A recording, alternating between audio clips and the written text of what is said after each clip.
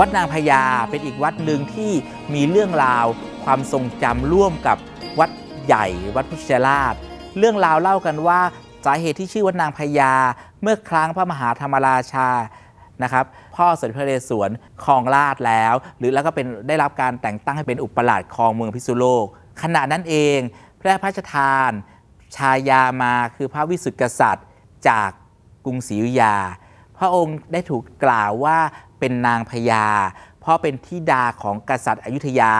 มาอยู่ที่เมืองพิษณุโลก ซึ่งเป็นเมืองอุปราช และก็ปกครองโดยขุนนางท้องถิ่น เราเข้าใจประวัติศาสตร์อยู่แล้วว่าพระพระมหาธรรมราชา พ่อสมเด็จพระนเรศวรหรือชื่อเดิมคือขุนพิเรนทรเทพ ได้มีส่วนร่วมรบกับพระมหาจักรพรรดิพระศรีสุริโยไทย จนป้องกันประเทศได้ จึงได้รับการพระราชทานที่ดาคนสำคัญก็คือพระวิสุทธิกษัตริย์ มาอยู่เป็นคู่บารมีที่เมืองพิษณุโลก ตรงนี้เองก็ได้เกิดการสร้างวัดเพื่อสมพระเกียรติของพระนาง ได้มีการสร้างวัดนางพญาขึ้น โดยในเหตุการณ์ตอนนั้นเอง พระนางนอกจากเป็นชายาธิดาของกษัตริย์อยุธยาแล้ว เป็นชายาของเจ้าเมืองพิษณุโลกแล้ว เป็นแม่ของสมเด็จพระนเรศวรมหาราช พระสุพรรณกัลยา พระเอกาทศรสพระนางห่วงใยว่าถ้า เกิดศึกสงครามมากมาย ประเทศพ่ายแพ้เกิดการพ่ายแพ้ต่อข้าศึกศัตรูต่างๆ ศาสนาพุทธจะล่มสลายในเมืองพิษณุโลก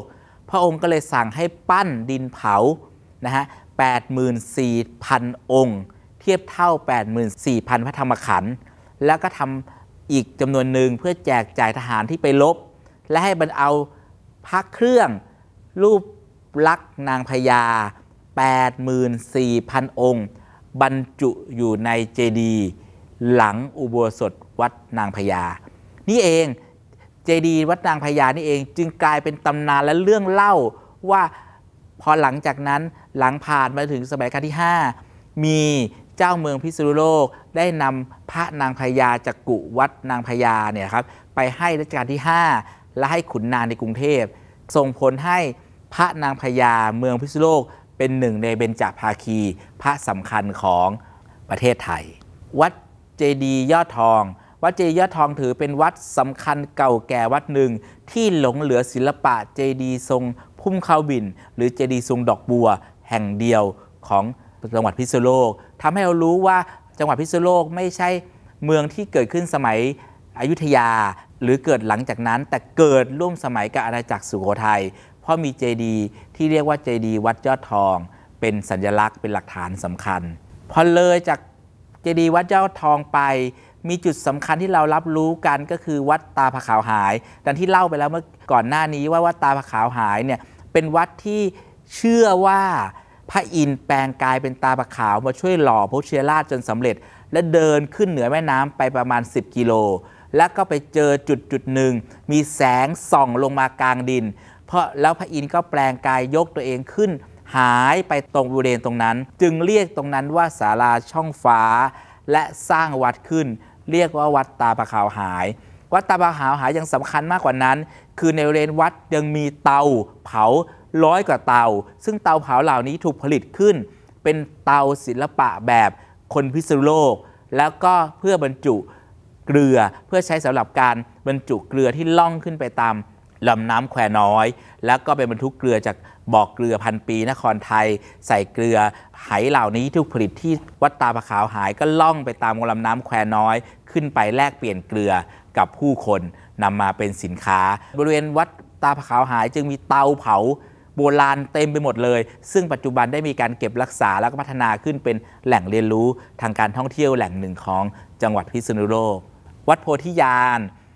วัดโพธิญาณเลยวัดตาปะขาวหาไปนิดเดียว เป็นจุดโค้งน้ำสำคัญนะครับ วัดโพธิญาณถือว่ามีกำแพงเมืองพิษณุโลกหลงเหลืออยู่ และเป็นจุดที่สร้างป้อมปราการเมืองพิษณุโลกเป็นป้อมแปดเหลี่ยม ลักษณะเมืองพิษณุโลกจะยาว มีแม่น้ำน่านไหลผ่านกลางเมือง แต่ตรงบริเวณวัดโพธิญาณนี่เอง ถ้าดูในแผนที่จะเห็นเลยว่า เป็นจุดที่แม่น้ำโค้งโค้งเป็นทำมุม แล้วก็ตรงเข้าเมืองพิษณุโลก ตรงจุดโค้งทำมุมนี่เอง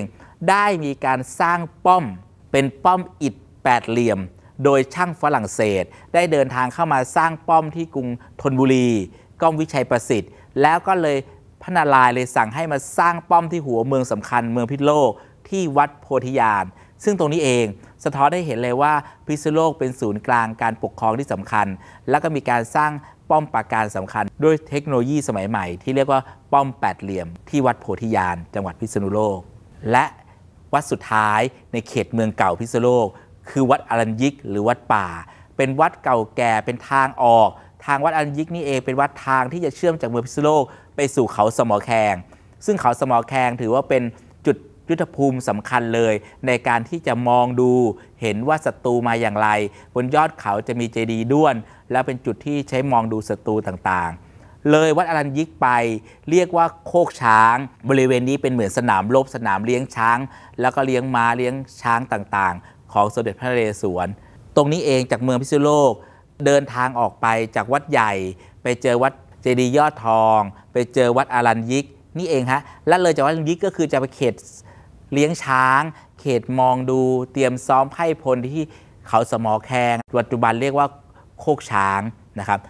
ถ้าย้อนเข้ามาวัดอรัญยิกนี่เอง จึงเป็นวัดเก่าแก่ พอศึกษาเข้าไปเจดีต่างๆ จึงรู้ว่าอู้น่าสนใจมาก วัดอรัญยิกเนี่ยมีเจดีที่มีรูปช้างล้อมอ่าลักษณะของช้างมีหลายแบบมาก ถ้าช้างที่ศรีสัชลัยออกมาทั้งตัวเลย ช้างที่กำแพงเพชรเป็นช้างทรงเครื่อง แต่ช้างที่วัดอารัญยิกออกมาเพียงแค่ครึ่งตัวลักษณะอวบอ้วน มีสัดส่วนลักษณะที่เป็นลักษณะของช้างพื้นเมืองที่ไม่ได้ทรงเครื่อง แล้วก็เป็นช้างในพุทธศาสนาที่น่าสนใจแห่งหนึ่ง และมีศิลปะร่วมกับสมัยสุโขทัย